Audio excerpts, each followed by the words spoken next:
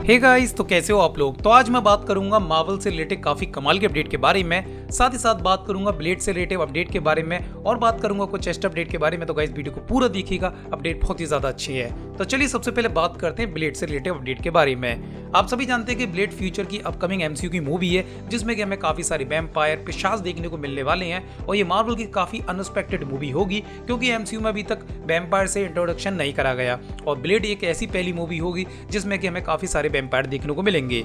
अब आपके लिए खुशखबरी ये है कि इस मूवी में आपको एक और इंडियन कैरेक्टर देखने को मिलेगा, जो कि इस तरीके से दिखता है। ये एक पग पहनता है, यानी कि ये सरदार जी वाला कैरेक्टर है, और देन काफ़ी ज़्यादा इनमें स्ट्रेंथ है। स्पीड भी है और इंटेलिजेंट भी है। इनकी स्टोरी थोड़ी सी मैं आपको बता दूँ कि इनकी फैमिली को वेम्पायर्स ने मार दिया था। पर फिर फाइनली आगे जाके ये ग्रुप को ज्वाइन करते हैं और एक वेम्पायर हंटर बनते हैं। और फाइनली जिस वेम्पायर ने इनकी फैमिली को मारा था, वो उसको खत्म कर देते हैं और इनकी मुलाकात होती है ब्लेड से, फिर इनका आगे फ्यूचर में टीम अप बनता है और आगे स्टोरी कॉमिक बुक में बहुत अच्छी तरीके से दिखाई गई है। तो ये कैरेक्टर आपको देखने को मिलेगा। अब कास्टिंग क्या होगी? कुछ भी अपडेट नहीं है। देन अभी हाल ही में दूसरा अपडेट आया ब्लेड से रिलेटिव ही।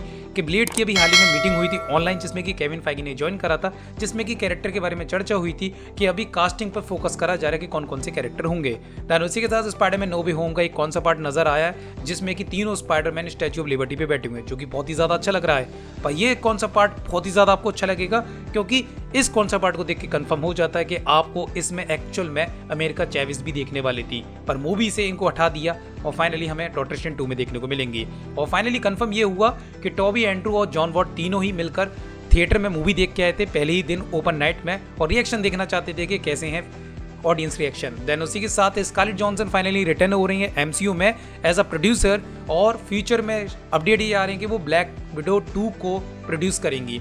अब ये तो रूमर है, देखते हैं क्या होता है इन फ्यूचर देन उसी के साथ फैंस ने फाइनली पचास हज़ार लोगों ने सिग्नेचर कर रही है, पिटिशन करी है कि टिचाला कैरेक्टर को रिकास्ट करा जाए ब्लैक पेंथर टू में। देन आप चाहते हो तो मुझे कमेंट सेक्शन में ज़रूर बताना क्या ब्लैक पेंथर कास्ट होना चाहिए या नहीं। देन उसी के साथ डोजा कैट जो कि बहुत ही अच्छी हॉलीवुड सिंगर है, वो फाइनली ब्लैक पेंथर टू में अपना सॉन्ग दे सकती है। रूमर चल रहे हैं ऐसे, पर अभी कंफर्मेशन नहीं आई है।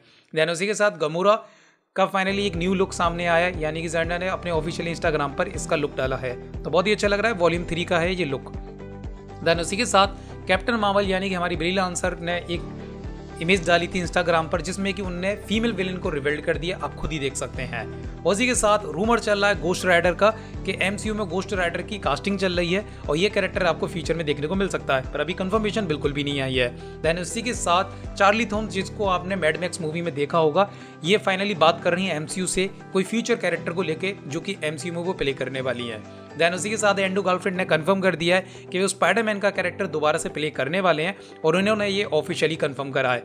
और उसी के साथ एक न्यू स्टिल इमेज हमारे सामने आई है वोंग की, जिसमें कि वोंग काफ़ी ज़्यादा परेशान लग रहे हैं। तो यहाँ पे शायद मुझे लग रहा है ये एंडिंग का फाइटिंग का सीन हो सकता है। आपको क्या लगता है कमेंट सेक्शन में ज़रूर बताना। देन उसी के साथ रूमर चल रहा है कि बिली मॉर्फी फाइनली एंड विन द बास में आपको देखने को मिलेंगे।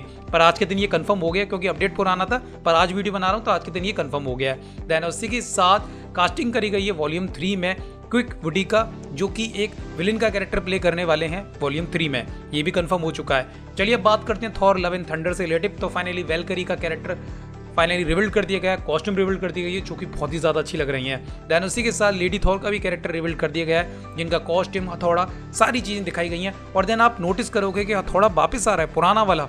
अब ये कैसे पॉसिबल है? पता नहीं। देन उसी के साथ हमारे थॉर का भी कैरेक्टर रिविल्ड कर दिया गया है, जिनका कॉस्ट्यूम बहुत ही ज़्यादा कमाल का लग रहा है। और उसी के साथ एक इनका ऑल्टरनेट कॉस्ट्यूम भी दिखाया गया है, जो कि गोल्डन आर्मर है, जो कि बहुत ज़्यादा अच्छा लग रहा है और इनका हेलमेट तो बहुत ही ज़्यादा प्यारा लग रहा है। और उसी के साथ मुझे यहाँ पे थोड़ा डाउट भी होता है, क्योंकि बहुत सारी सेट इमेजेस आई हैं और इन सेट इमेजेस को देख के लगता है कि शायद हमें थॉर मूवी में थॉर के वेरियंट देखने को मिल सकते हैं। क्योंकि स्पाइडरमैन मूवी में हो चुका है लोकी में हो चुका है थॉर में भी हो चुका है, और देन थॉर में हुआ नहीं है देन और डॉक्टर स्टेज में भी होने वाला है तो आपको क्या लगता है कि थॉर के वेरिएंट देखने को मिलेंगे? मुझे कमेंट सेक्शन में ज़रूर बताना। तो गाइस आज के लिए बस इतना ही। Thank you for watching this video